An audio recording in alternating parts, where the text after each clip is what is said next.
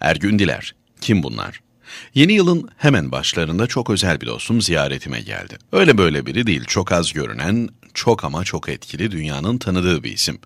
Türkiye'de çok az bulunur. Tanımadığı, oturup kalkmadığı isim yoktur. Ne olacağını her ne hikmetse herkesten önce duyar, uzun uzun konuştuk. Kaç zamandır bana uğramak istiyormuş, fırsat bulamamış. Çok şey anlattı. Yazacaklarım var, yazamayacaklarım var. İnanamazsınız.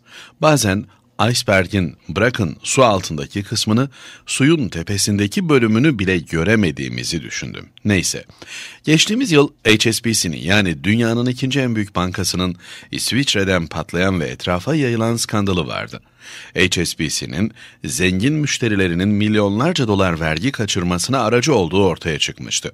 Sızan bilgilere göre bankada 3105 Türk'ün parası vardı. Açılan hesap sayısı 4584'tü. Bunların yatırdığı para 3,5 milyar dolardı. Tamamı Türk olmakla beraber Türk pasaportuyla açılan hesaplar bu rakamın sadece yüzde 41'ini oluşturuyordu. Yine sızan bilgilere göre buradaki en fazla para tek bir hesaptaki 263 milyon dolardı. İşte dostumla konuşurken konu buralara geldi. Elinde öyle bir liste vardı ki yer yerinden oynardı. Kimin nerede, ne kadar para tuttuğu ortadaydı. Bir de işin offshore kısmı vardı. Ki oraları hiç sormayın. Kimler yok ki? Silah kaçakçılığı yapan, savaşlar çıkaran, kara para aklayan banka Türklere resmen kapılarını sonuna kadar açmış. Dostum o sızdırma işini bankanın merkezi organize etti dedi. Müşterileri, daha doğrusu etkili müşterileri paralarıyla yönetmek için. Konu öyle bir yere geldi ki isim sormak durumunda kaldım. Galiba bunu sormamı bekliyordu. Listeleri çıkardı, tek tek altı çizilmiş bizim ünlü isimleri gösterdi.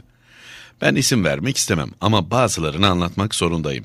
21 iş adamı çok ama çok tanıdık. Etkili ve bilinen isimler.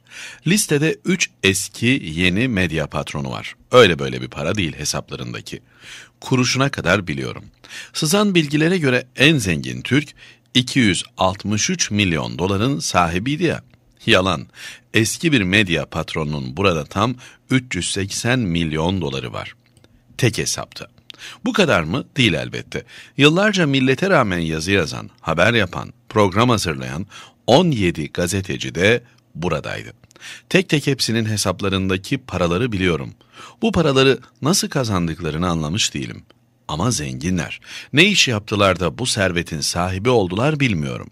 Baş harflerini söylesem anlaşılacak. Bu nedenle yazmıyorum. Ama birinin hesabında tek bir hesapta 14 milyon dolar yani yaklaşık 45 milyon lira var. Nereden bu para? Hükümet düşürmeye, örgütlerle yan yana gelmeye, dışarıya pas vermeye bayılıyorsunuz. Ama günün sonunda herkesin bildiği bir sır haline geliveriyorsunuz. Yazık. Millete söylenen bunca yalana yazık ve paralarınızı da savaşa, kaosa, kara para aklamaya, uyuşturucu içine endekslemişsiniz. Gerçekten yazık. Diğerleri de parayı buradan götürmesine rağmen Türk olarak işlem yaptırmamış. Adamlar kimleri neyle yola getireceğini biliyor. Gereğini de yapıyor. Sonra içeride neden hiç huzur bulamıyoruz diyoruz. Bunlar varken gerçekten bulamayız. Neyse devam. İçerinin dışarıyla bağı sadece para üzerinden olmadı. Paradan hiç vazgeçmediler ama bazı siyasilerimiz de ne hikmetse gücü dışarıda arardı. Neden böyle yaparlardı? Açıklayanı görmedim ama giderlerdi. Gizli mahfillerde el sıkışıp gelirler ve bizim dışımızda herkesi mutlu ederlerdi.'' Kulvarlar değişir, sonuçlar sadece bizim işimize yaramazdı. Bu kulvara girdiği için yazmıyorum. Belki böyle bir amaçları yok ama son dönemde çok öne çıkan HDP'li bir hanımefendi kalkıp Londra'ya gitti. Yan yana görünmekten mutlu olduğu arkadaşı Amerika'ya giderken o da belli ki boş durmayayım ben de uçayım diyerek Londra'ya indi. Gittiği yerlerden biri halk evi adına faaliyet yürüten lüks bir bardı yanında İngiltere'de önemli yerlerle ilişkisi bulunan isimler vardı. Mesela Kürtlerin çatı organizasyonunu yapan BE oradaydı. İngiltere'de Kürtlere parayı akıtan yani HDP'ye büyük destek veren CF isimli şirketin sahibi SÇ de oradaydı. KH orada olmadan olmazdı.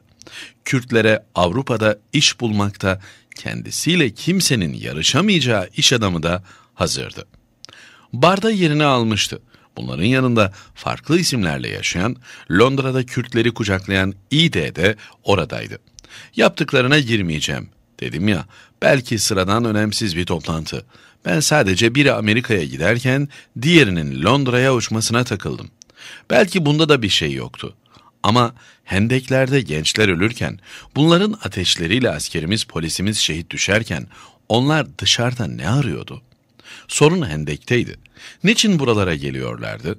Kimi arıyorlar? Nasıl bir çözüm peşinde koşuyorlardı? Bilmiyorum. Bu isimlerin belki hiç suçu yok ama içerideki sorunun kaynağı kesinlikle ve kesinlikle dışarıda. İçeride kimleri bulup bunları gerçekleştiriyorlar? Bilmiyorum. Belki sizlerin aklına birileri geliyordur. Acaba içeridekiler kim? Ülkeyi acıya, ateşe ve göçe zorlayanlar kim? Keşke bilsem. Ergün Diler, Takvim